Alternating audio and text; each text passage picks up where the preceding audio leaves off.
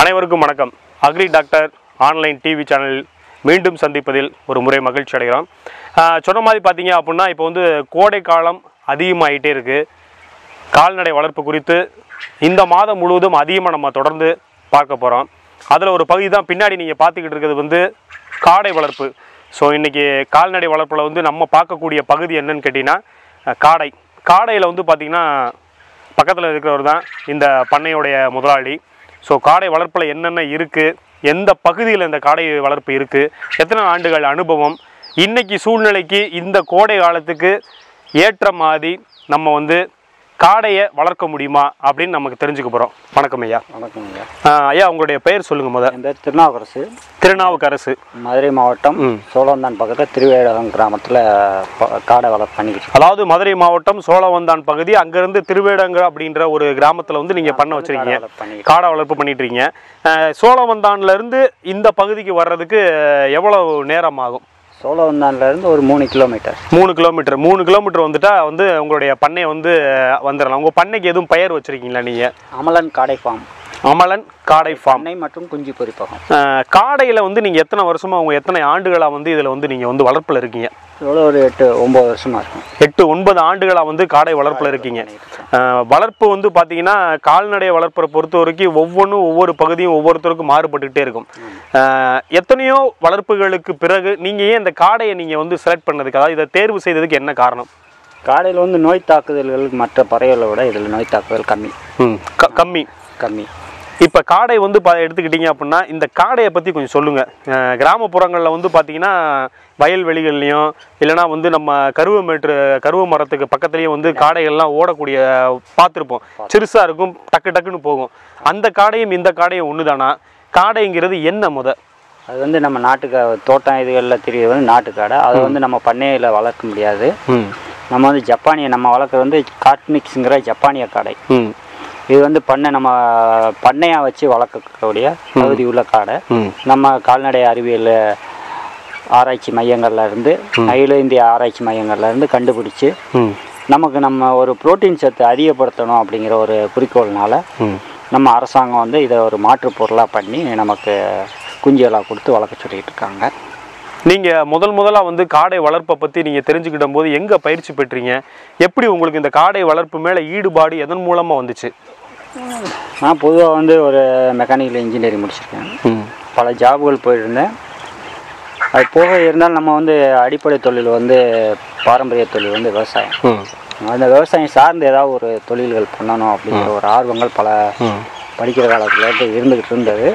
இருந்தாலும் அதுக்கப்புறம் தொழில் போயிட்டு வேலைகள் போயிட்டு வந்துட்டு இருந்தோம். அதுக்கப்புறம் இது ஆயிரத்தி தொள்ளாயிரத்தி ஏழில் ஆயிரத்தி ரெண்டாயிரத்தி ஏழில் வந்து சில மேகசின்ஸில் பார்த்தேன். ரெண்டாயிரத்தி ஏழாம் ஆண்டு. ஏழாம் ஆண்டு. சில மேகசின்ஸில் பார்த்தேன். காடை வளர்ப்பு பற்றி போட்டிருந்தாங்க.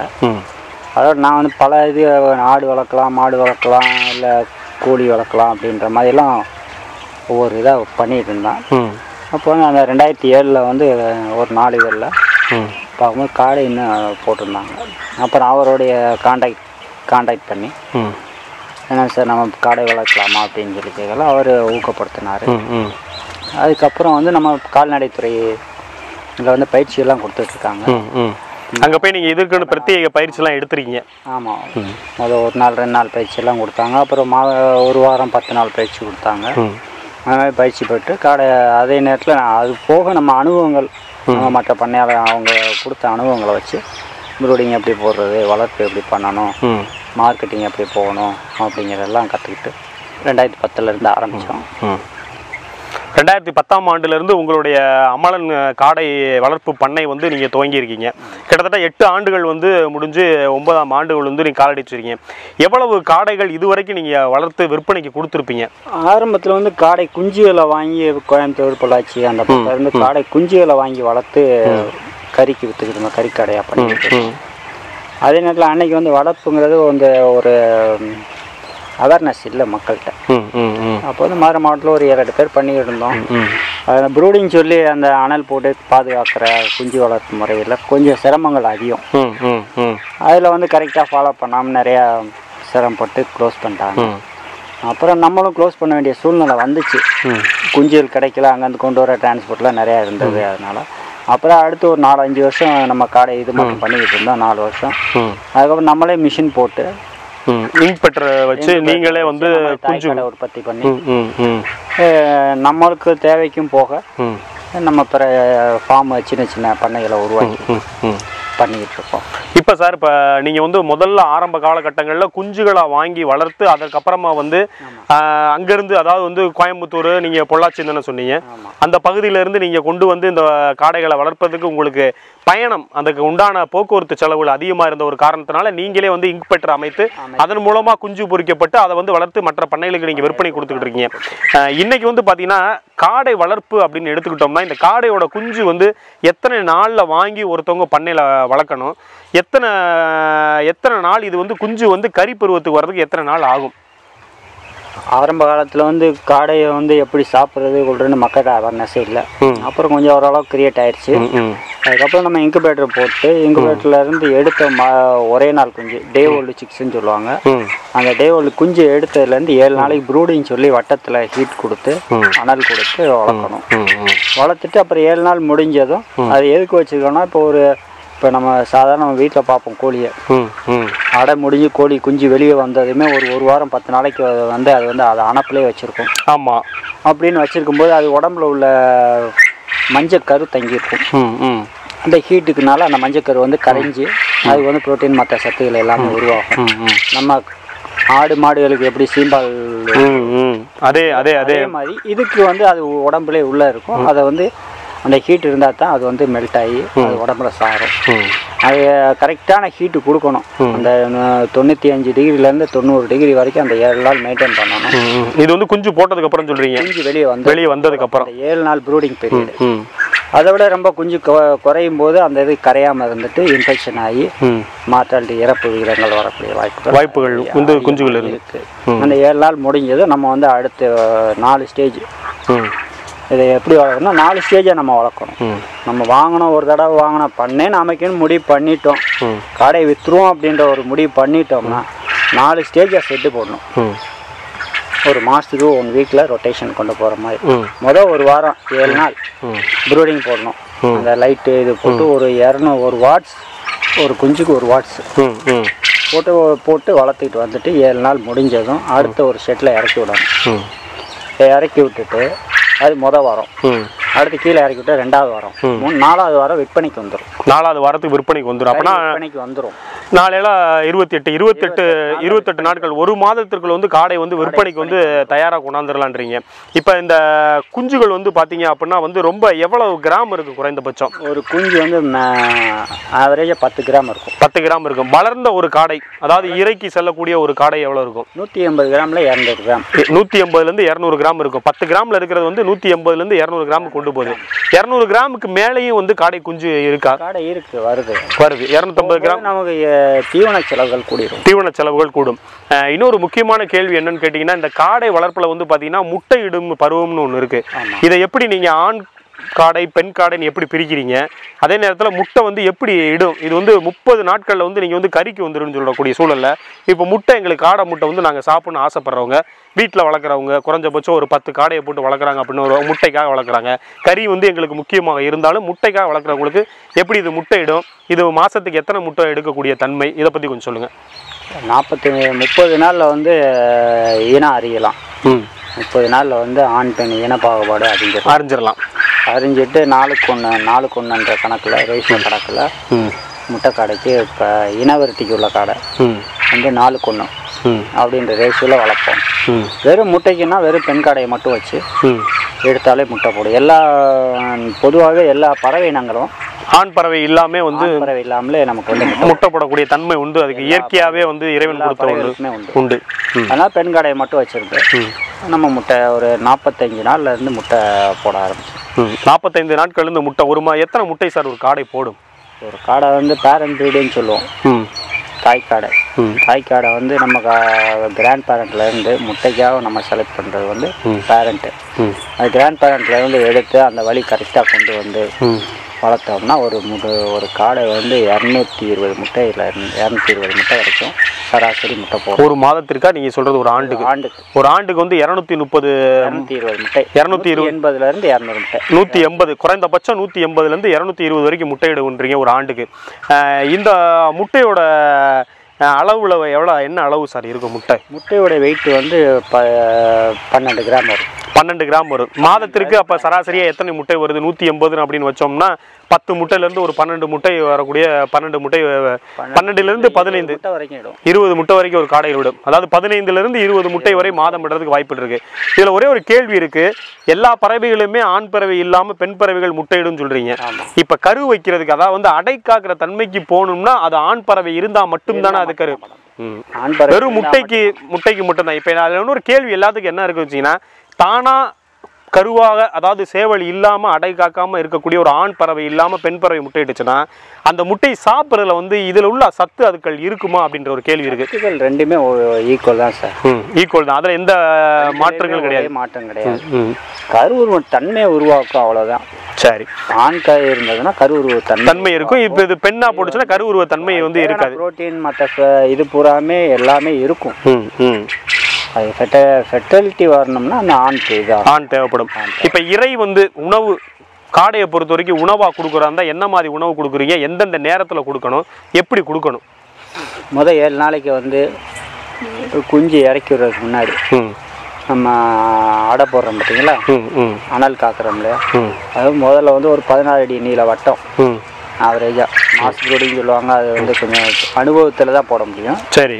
ஒரு பதினாறு அடி நீள ஷீட்டு ஒன்றே அடி வரும் ரவுண்ட் பண்ணி வச்சோம்னா ஒரு இரநூறு வாட்ஸ் பல்பு சென்டரில் போடணும். சரி. போட்டு முத வந்து மஞ்சி கீழே. மஞ்சு. மஞ்சு. இல்லை ரம்பத்தூள் இந்த மாதிரி கீழே போட்டுட்டு அது மேலே பேப்பர் விரிச்சிட்டு நியூஸ் பேப்பர் விரிச்சிட்டு அது மேலே முத தண்ணியை வந்து ஒரு சுடு பண்ணி சூடு பண்ணி ஆற வச்சு அதில் குளுக்கோஸ் தண்ணி போட்டு முதல்ல வந்து ட்ரிங்கரில் வச்சு உள்ளே வச்சிடணும். அதே மாதிரி இறைய வந்து ப்ரீ ஸ்டார்டர்னு யூஸ் பண்ணுவோம் கோழி முதல் தீவனம்னு சொல்லி. பிராய்லர் முதல் தீவனம் யூஸ் பண்ணலாம். இப்போ வந்து காடைக்காக வேண்டி பிரத்யேக தீவனம் தயார் பண்ணுறாங்க அது கொஞ்சம் கிடைக்கிறது வந்து கொஞ்சம் சிரமமாக இருக்குது அது போல் நீங்கள் pre starter broiler pre starter SKM இந்த மாதிரி கோட்ரேஜ் இந்த மாதிரி பல கம்பெனிகள் நிறையா இருக்குது சாந்தி அந்த மாதிரி கம்பெனிகள்லாம் இருக்குது அவங்ககிட்ட பிராய்லர் ப்ரீ ஸ்டார்டர்னு இருக்குது இப்போ அதாவது வந்து காடையோடைய உணவு உணவை பொறுத்த வரைக்கும் வந்து இது வந்து குஞ்சில் எப்படி கொடுக்கணும் வளர்ந்ததுக்கு அப்புறம் எப்படி கொடுக்கணும் எத்தனை நேரம் கொடுக்கணும் என்ன மாதிரி உணவுகள் இதுக்கு நீங்கள் கொடுக்குறீங்க? பிராய்லர் ப்ரீ ஸ்டார்டர் கொடுத்தாலே போதுமானது. அது வந்து ஒரு மூணு நாளைக்கு மட்டும் நம்ம அரைச்சி போடணும். அதுக்கப்புறம் ஒரு பதினஞ்சு நாள் வரைக்கும் பிராய்லர் ப்ரீ ஸ்டார்டர் முதல் தீவனம். ம். கு- வளர் முதல் தீவனம் கொடுத்தாலே போதும். அந்த பிராய்லர் இப்போ அந்த என்ன சொன்னீங்க அதுக்கு பேர் வந்து பிபிஎஸ் பிபிஎஸ் அந்த வந்து முதல் முறையாக கொடுக்கக்கூடிய தீவனம் வந்து கடைகளிலே கிடைக்கும். இதுக்குன்னு பிரத்யேக கடைகளில் கிடைக்கும். சரி அது வந்து எத்தனை நாளைக்கு கொடுக்கணும் அப்படி அந்த உணவை? நாளைக்கு கொடுக்கணும். பதினஞ்சு நாளைக்கு. நாளைக்கு அப்புறம் ஸ்டார்டர்ன்ற தீவனம் ரெண்டாவது தீவனம். ம் ஸ்டார்டடுங்கிற தீவனம். ஸ்டார்டர். அது வந்து முப்பது நாளைக்கு இருபத்தஞ்சு நாளைக்கு கொடுத்தா போதுமானது. அந்த தீவனம் எத்தனை முறை போடணும் தீவனம் அதுக்கு? கறிக்கு வளர்க்கும் போது எப்பயுமே தீவனத்தட்டில் தண்ணி இருக்கணும். தண்ணி இருக்கணும் எப்போதுமே இருக்கணும். தண்ணி இருக்கணும் ஃபீடு இருக்கணும். அதே மாதிரி நைட்டு வந்து லைட் ஃபுல்லாக எரியணும். கறிக்குன்னு வளர்க்கும்போது. மற்றபடி அதை முட்டைக்குன்னு வளர்க்கும்போது அதோடைய சிஸ்டம் தனியாக வந்துடும் அது வந்து தனியாக வந்துடும் முட்டைக்குன்னு வளரும்போது அது வேறுபட்டுரும் உங்களுக்கு வந்து. இப்போ தீவன செலவை பொறுத்த வரைக்கும் இதில் அதிகமாக வருமா? கடுமையான தீவன செலவு வரதுக்கு வாய்ப்பு இருக்கா? காடை வளர்ப்பில் வந்து கடை வளர்ப்புன்ட்டில் கடை வளர்ப்பு பிராய்லர் வளர்ப்பு எல்லாத்துலேயுமே எழுபத்தஞ்சு சதவீதம் வந்து தீவன செலவு தான். தீவன செலவு தான் அதிகமாக இது வரக்கூடியது இருக்குது ஒரு காடை வந்து இருபத்தி இப்போ ஏழு ரூபாய்க்கு வாங்குகிறோம் தீவன செலவு இன்னைக்கு சூழ்நிலைக்கு வந்து ஏன்னா தீவனத்துடைய ரேட் வந்து முன்ன பின்ன ஏறும் இறங்கும். இன்னைக்கு வந்து ஆவரேஜாக இருபத்தி ரெண்டு ரூபா. இருபத்தி ரெண்டு ரூபா. ரெண்டு ரூபாலேருந்து இருபத்தி கிலோ. ரூபா இந்த ஒரு காடை குஞ்சு அந்த ப்ரூடிங் செலவு நம்ம தீவன செலவு எல்லாம் சேர்த்து இருபத்தி மூணு ரூபா வரைக்கும் வரும். ஒரு காடைக்கு. இது நீங்கள் சொல்கிறது வந்து உற்பத்தி பண்ணுறதுக்கு அந்த நான்கு வாரங்கள் உற்பத்தி பண்ணுறதுக்கு உண்டான செலவு வந்து இருபத்தி நாலு ரூபாய் ஒரு காடைக்கு வந்து அடக்க விலை வந்து வந்துடுது உங்களுக்கு. இப்போ குஞ்சு வந்து பார்த்தீங்க அப்படின்னா வந்து இந்த குஞ்சுக்கு வந்து எப்போதுமே வந்து பார்த்தீங்கன்னா வளர்ப்பில் இருக்கக்கூடிய மிகப்பெரிய சவால் வந்து மருத்துவம் தான். ஸோ அதுக்கு வந்து நோய்கள் தாக்குதல் வந்து எந்த நேரத்துலையும் எப்படினாலும் வரலாம். காடையை பொறுத்த வரைக்கும் என்ன மாதிரியான நோய்கள் தாக்கும்? இந்த கோடை காலத்துக்கு என்ன மாதிரியான பிரச்சனைகள் காடைக்கு வரக்கூடிய சூழல் இருக்குது கோடை காலம் உகந்ததா? காடை வளர்ப்புக்கு கோடை காலத்தை அந்த வெயில வெப்பத்தை சமாளித்து வளரக்கூடிய ஏன்னா அது வந்து இயற்கையாகவே நீங்கள் இரவு முழுக்க ஒரு வெப்பம் வேணும் குறைந்தபட்ச ஒளி வேணும்னு சொல்லி நீங்கள் வந்து மின்பழுப்பை வந்து நம்ம வந்து மாட்டிக்கொண்ட ஆமாம். சூழல் இருக்குது இந்த நேரத்தில் இந்த கோடை காலம் இதற்கு உகந்ததா? இது வந்து பொதுவாக எல்லா பருவத்திலையும் வளர்க்கலாம். சுற்றுப்புற சூழலை வந்து நம்ம வந்து கொஞ்சம் மாற்றி அமைச்சுக்கிட்டா போதும். மழை காலத்தில் வந்து அதிகமாக குளிர் இருக்கும்போது நம்ம பண்ணையை சுற்றி உள்ள தார்பாய்களை இறக்கி விட்டு கொஞ்சம் மெயின்டைன் பண்ணிக்கிட்டோம்னா உள்ள கதகதப்பு கிடைக்கும். அதே மாதிரி வெயில் காலத்தில் வந்து சட்டை சுற்றி உள்ள தார்பாயெல்லாம் எடுத்து விட்டுட்டு பகல்லையும் சரி நைட்லையும் சரி எடுத்து விட்டுட்டு ஈரச்சாக்கு. நம்ம அந்த மட்டி சாக்கு இருக்கும் அந்த ஈரச்சாக்கில் வந்து தண்ணியை நனைச்சி விட்டு சுற்றி தொங்க விட்டோம்னா கொஞ்சம் குளிர்ச்சி இருக்கும். அதனால் வந்து வெப்பு தாக்குதல்னால வரக்கூடிய வெப்பு நோய்கள் கொஞ்சம் குறையும். குறையும். வேற என்ன மாதிரியான இதுக்கு சிகிச்சை முறைன்னு எடுத்துட்டோம்னா மருந்துகள் அந்த மாதிரி எதுவும் இதுக்கு நீங்கள் வந்து வாரத்துக்கு ஒரு தடவை கொடுக்கணும் மாதத்திற்கு ஒரு முறை வந்து இந்த மாதிரி மருந்துகளை கொடுக்கணும் அந்த மாதிரி எதுவும் இதுக்கு சிகிச்சை மருந்துகள் இருக்கா? சிகிச்சை முறையிலே கிடையாது. அந்த மூணு நாள் போடுறோம் பார்த்தீங்களா அந்த ஏழு நாள் ப்ரூடிங் போடுறதுல. மொதல் ஒரு மூணு நாளைக்கு ஆன்டிபயோட்டிக் டெராமைசின் சொல்கிறோம் அது லைட் டோஸ் தான். வேற ஒன்றும் அது வந்து பெரிய ஹெவி டோஸ்லாம் இல்லை. லைட்டாக ஒரு லிட்டருக்கு ஒரு கிராம் ஆன்டிபயோட்டிக் கொடுத்தா போதும். அதோட பி காம்ப்ளெக்ஸ் இந்த மாதிரி. ம். சாதாரண ஒரு சத்து டானிக்கு பி காம்ப்ளெக்ஸோ இல்லை அமினோவிட் கலந்த பற்றாக்குறை கொடுத்தோம்னா கொஞ்சம் போதுமானது. போதுமானது. ஹெல்த்தியாக கொஞ்சம் குஞ்சுலேருந்தே கொஞ்சம் ஹெல்த்தியாக வந்துடும் அதுக்கப்புறம் வந்து நோய் தாக்குதல்கள் கிடையாது. இப்போ விற்பனைன்னு எடுத்துக்கிட்டோம்னா எப்படி நீங்கள் விற்பனை பண்ணுறீங்க விற்பனை வந்து நம்ம வந்து இப்போ குஞ்சு விற்பனை பண்ணுறோம் குஞ்சு விற்பனை பண்ணிவிட்டு நம்ம பண்ணைகள் சின்ன சின்ன பண்ணைகள் கொடுத்துக்கிட்டு இருக்கோம். அவங்க வளர்த்துட்டு அவங்களாவே மேக்ஸிமம் விற்றுருவாங்க எவ்வளவு குஞ்சு வந்து நீங்கள் கொடுக்குறீங்க இன்னைக்கு சூழலுக்கு? இன்னைக்கு சூழ்நிலைக்கு ஒரு பத்து பதினாயிரம் குஞ்சு வரைக்கும் கொடுத்துட்ருக்கோம் பத்து பதினஞ்சாயிரம் கொடுக்குறீங்க. என்ன விலைக்கு நீங்கள் கொடுக்குறீங்க? எந்த மாதிரி நேரத்தில் நீங்கள் விற்பனை பண்ணுறீங்க குஞ்சு ஏழு ரூபா. குஞ்சு ஏழு ரூபாய் திங்கக்கிழமை மட்டும் ஒவ்வொரு வாரமும் கிழமை புதன்கிழமைக்கு இப்போ அடுத்து கொஞ்சம் ரைஸ் பண்ணிக்கிட்டு இருக்கோம். ம், ம். திங்கள் மற்றும் புதன் இந்த வாரத்துல வந்து ரெண்டு நாள் மட்டும்தான் குஞ்சு விற்பனைக்கு நீங்க வந்து கொடுக்குறீங்க. ஒரு குஞ்சு வந்து ஏழு ரூபாய் கொடுக்குறீங்க. இந்த குஞ்சுகள்லாம் பத்து நாள் குஞ்சுகளா? எத்தனை நாட்கள் குஞ்சுகளை நீங்க விற்பனை கொடுக்குறீங்க?